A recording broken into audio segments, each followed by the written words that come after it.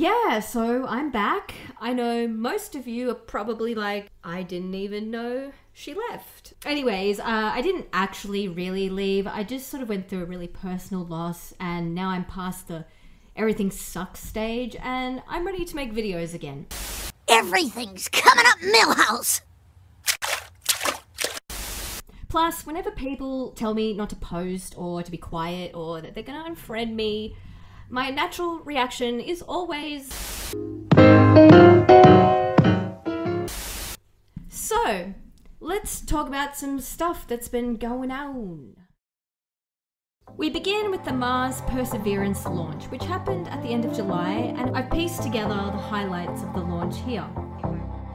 Status check. Go Atlas. Go Centaur. Go Mars 2020.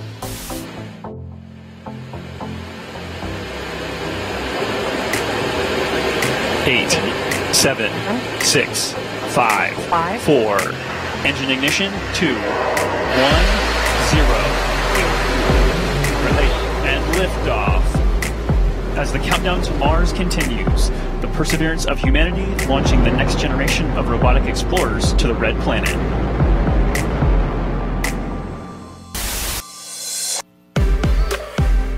And we have a good indication of SRB jettison of all four SRBs. And the vehicle has gone to closed loop guidance. Vehicle body rates are responding nominally at this time. The vessel carrying Perseverance is estimated to dip into Mars's orbit in February next year, a good five months away. NASA have set up a digital tracker on their website so that enthusiasts can follow Perseverance progress through space towards the red planet. Here we have the vessel, and here is its current location in the solar system. You can zoom out or in as you please, and the information on the side here is regularly updated, presumably in real time. If you scroll down through the webpage, you'll find more detailed information about the vessel and its journey ahead. In relation to the red planet itself, evidence for multiple bodies of water existing kilometres beneath the Martian ice has been published in Nature Astronomy. Unfortunately, though, in order to access all the information in the study, you have to pay for it, but there are multiple news sites with enough information for one to piece together. The discovery of water was made two years ago using radar data from the ESA's Mars Express. An instrument known as MARSIS was used to probe the planet's southern polar region using radio waves that bounce off different surfaces and reflect the data back to the instrument. Scientists can determine the nature of the material through the way the signals are reflected back to MARSIS. More recently, however, areas of high reflectivity in the polar region suggest the presence of multiple liquid lakes beneath the ice, according to this study. But not everyone is convinced that this interpretation of the data is accurate, and some believe it to be downright incorrect. Of course, more information is needed, and with several countries on track to head to Mars, the race is on to see who can find the answers first. Now, also in the news recently was the hell planet Venus, or more specifically, the contents of the planet's clouds. Everyone was really excited for like two days, wondering if there could be life squirming around above Venus. The discovery of a gas known as phosphine in Venus's clouds was published on September 14th by Nature Astronomy, and the article was strongly suggestive of organic life being a possible cause for the presence of the phosphine.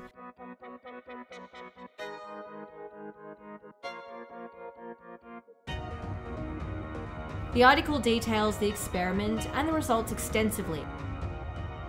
However, the writers walk back many of the implications of alien life and subsequently most of the excitement with the following statement.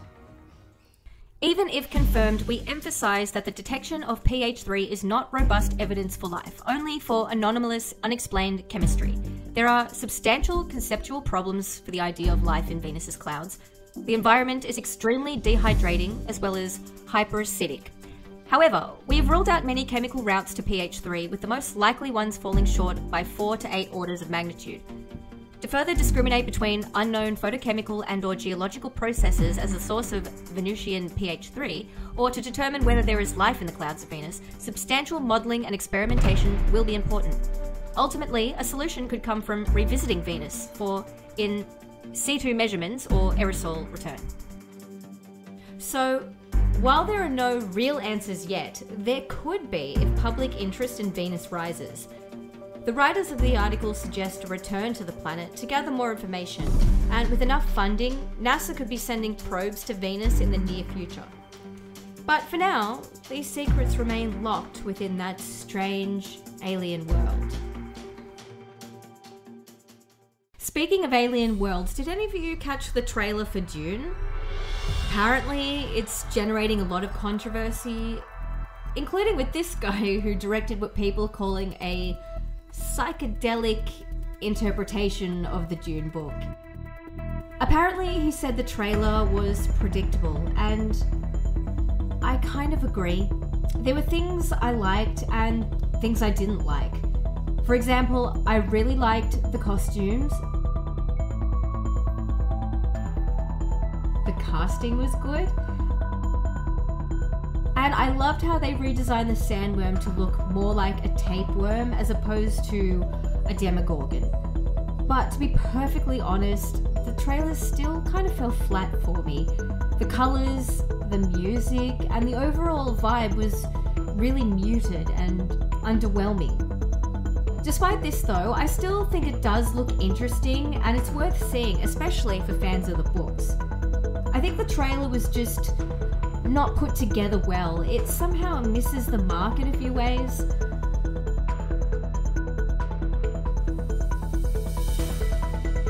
But I look forward to seeing the film in full anyway.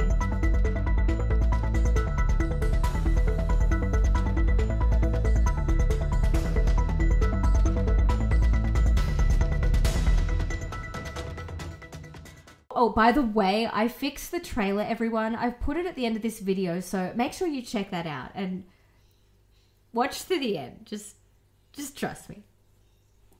And finally, everything worked out just fine. Nah, I'm just kidding. Because also causing pop culture controversy is regular J.K. Rowling, who is back in the spotlight after releasing her latest book, Troubled Blood.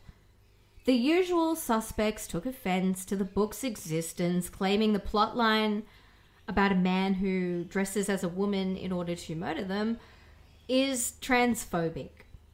One Australian bookstore even made international headlines after declaring that they would no longer stock or sell Harry Potter books because of J.K. Rowling's opinions on gender.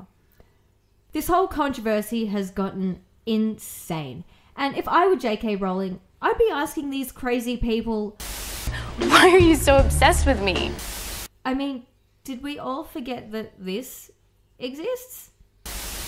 It rubs the lotion on its skin or else it gets the hose again. Yes, you will, precious. You will get the hose. Seriously. This is my personal response to anyone who is genuinely mad at J.K. Rowling.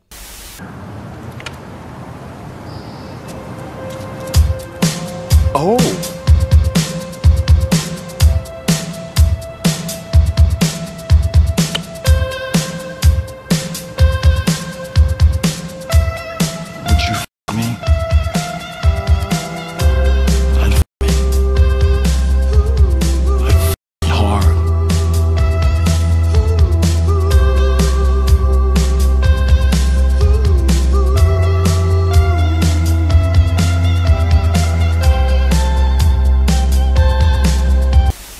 That's right, you whiny little babies. Well, that concludes this week's video. Thanks for watching, and make sure you stay tuned for that improved Dune trailer coming now.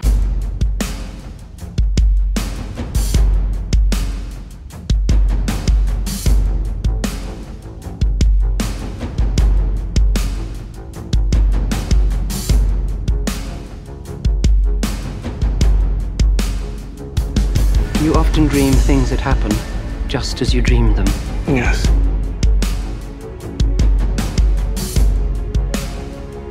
The test is simple. Remove your hand from the box, and you die. What's in the box? Pain.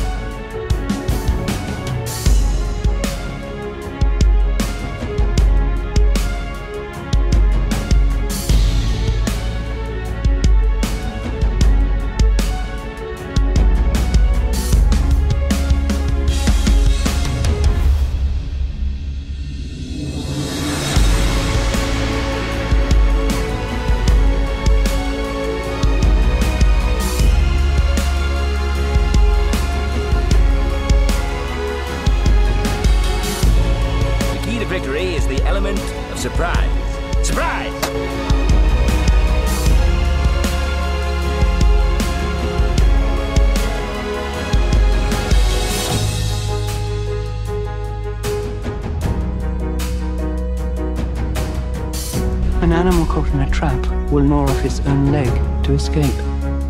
What will you do?